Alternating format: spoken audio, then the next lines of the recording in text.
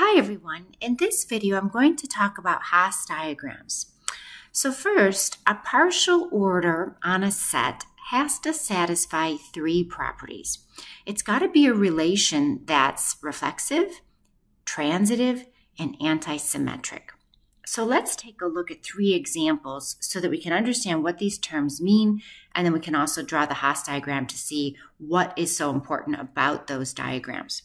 All right, so the first example I'm going to look at here is number one. So we're looking at the power set of the set AB. So I'm just going to write example one. Give ourselves a little bit of space. So we're looking at the power set. That's what that big capital P means. And it's the power set of AB. So the elements in here, I'm looking at the empty set. I'm looking at the little element A, the little element, uh, the set containing the little element B, and the set containing AB. So in other words, the power set of a set is just the, the set of all subsets. All right, so these are the four creatures, the four um, little sets that I'm thinking about. And the relation that I'm working with is subset containment. So I want to know for these sets that I've listed, which ones are subsets of the other ones. So for example, um, I could just think out loud here, you know, the empty set is a subset of of A, and the empty set is a subset of B, and the empty set is a subset of AB. And in fact, the empty set is a subset of itself. Okay. I could look at the set containing A. That's not a subset of the empty set, no, but it is, an, it is a subset of itself. I can write that down. Uh, the set containing A is not a subset of B, no, but it is a subset of the entire set. Okay, and similarly, I could go through for B. The set containing B is a subset of itself, and the set containing B is a subset of the entire set AB, and the set AB is a subset of itself. Ooh, that's a lot of writing, and we don't want to do that. and that's why Hasse diagrams are so helpful because they help us visualize all the relationships and connections between the pieces um, without having to make these really tedious lists. But the reason I did it here is because I just wanted to talk a little bit about what these terms reflexive, transitive, and antisymmetric really mean, um, because sometimes just reading a definition is a little bit harder to to infer the meaning. All right, so first of all, reflexive. Recall, you know, when we've got a relation that's reflexive, it means that every element relates to itself. So X relates to X. Sometimes you'll see the notation X, twiddle X. Um, in this case, the relation is subset containment. So if I go through here, does every element relate to itself? Yes. Yes, yes, yes. Every element relates to itself using this relation subset containment. Okay, goody. So we are working with a reflexive relation called subset containment. Very good. Now the next thing is transitive. So remember, uh, you know, back when we were talking about transitive relations, um, we said, you know, if X relates to Y and Y relates to Z, then that implies that X relates to Z. You know, I always think about this like a little frog. Um, and the frog can transit from lily pad A, uh, lily pad X to a lily pad Y. And then if it can go from Y to Z, so my little creature, I'm a terrible drawer, but there's my insect, and he can hop, she can hop from X to Y and Y to Z, well, then it's certainly the case that we could make our way from X to Z. We just have to make a pit stop at Y, but we can get there. Um, so that's the idea of transitive. We can transit ourselves around um, X to Y, Y to Z, therefore we can get from X to Z. All right, so let's check that this is transitive. So for example, um, if, let me use a different color here. So let's look at the empty set is a subset of A. And then A is a subset of AB. Is it true that the empty set is a subset of AB? Yes. Great. Um, and there's not much else to check here just because we're working in a pretty small set. So we're all set with transitive. And then the idea of antisymmetric, I'm going to give ourselves a little bit of room here. And antisymmetric says that if x relates to y and y relates to x, then it better be true that x equals y. So there's there's not a lot to check here for that. Um, we can look at some examples maybe in the course where this condition would fail. But, you know, the idea here is A is a subset of itself. And A is a subset of itself and A equals A. It's not very exciting to check, but, but it is anti-symmetric. Okay, moving on. Let's look at the Hasse diagram to see how that will save us a lot of time and actually convey all these properties of being a partial order. So for example one, I'm going to put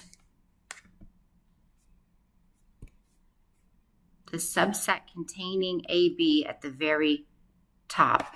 This is like the umbrella and all the little pieces are going to lie under it. So uh, the subset A is contained in AB. So that's why I connected it and I put it underneath. Similarly, the subset B is contained in the big set AB. That's why I put it underneath. And the empty set is a subset of everybody. So I am going to connect to the subset A, and I am going to connect to the subset B. That shows the subset containment there. Now, I'm really tempted to just put another line all the way up there, but remember, partial orders satisfy this idea of being transitive. So if I already have a line from the empty set to A and then A to AB, it's redundant to put this line up the middle. So I'm not going to clutter up my diagram with all these extra lines it's already conveyed in here that the empty set is a set of the big set by transitivity.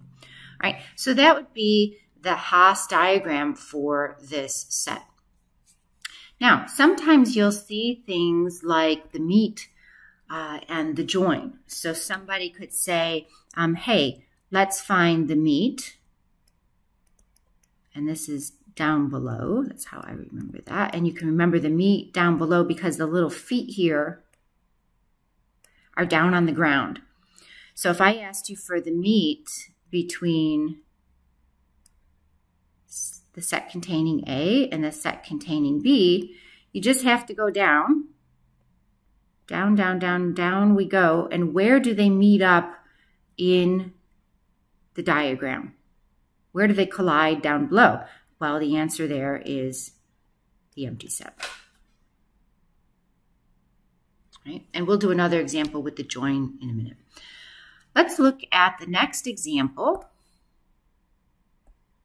which is example two. And I won't go through all the subset or all the,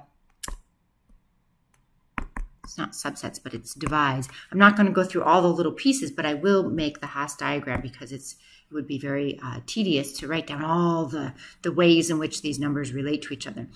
So for example two, I'll use a different color. Oops.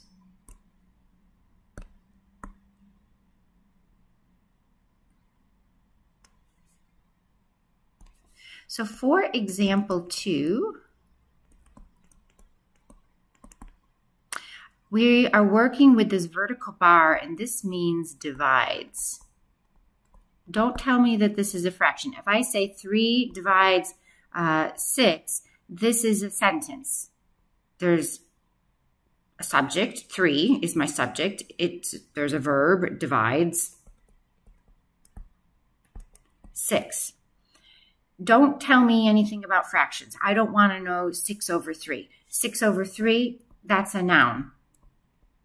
I've given you a sentence with a subject and a verb. So this divides is a relation. It tells us about how things interact with each other.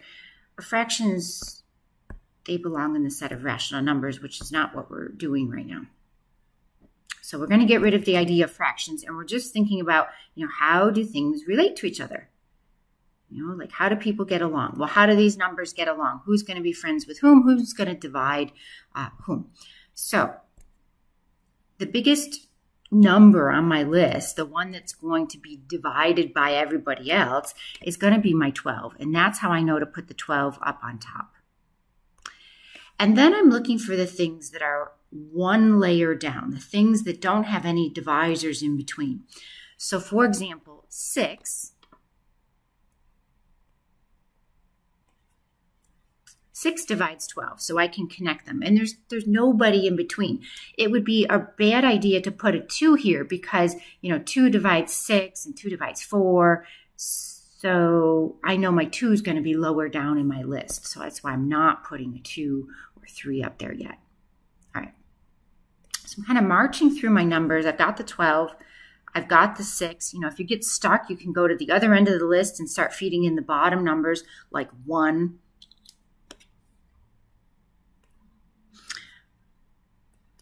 And then you could list all your prime numbers like two and three because two is definitely not going to divide three and three is not going to divide two. So I could put those in.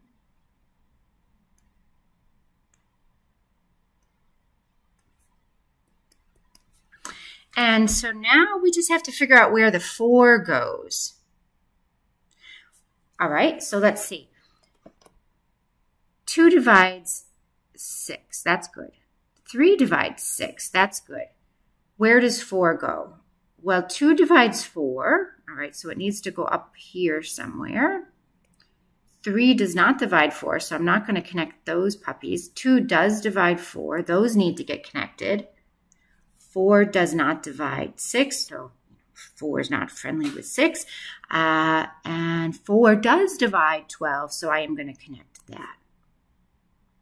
So there's my Hasse diagram. Now, it might be nicer if we redrew this so that we don't have all these crossing lines. So I see a better way to draw this if I do the 12 here and I go a 1, 2, 4, 12, and then 3, 6, you know, something like that is probably a better Hasse diagram than the one with the crossing lines. Either way, um, let's look at an example here. Now, suppose I asked you for the join. The join is going to be up above, and the notation for a join is like a V. But again, if you look at the little feet of this this individual, they're up on the top, so that's how I know I, I'm going up. So, for example, if I looked at the join of 2 and 3, looking in my diagram, okay, here's my two and here's my three, and where do they meet up? Or where do they join up? I guess is a better way of asking that. Where do they join up? And that would be the six.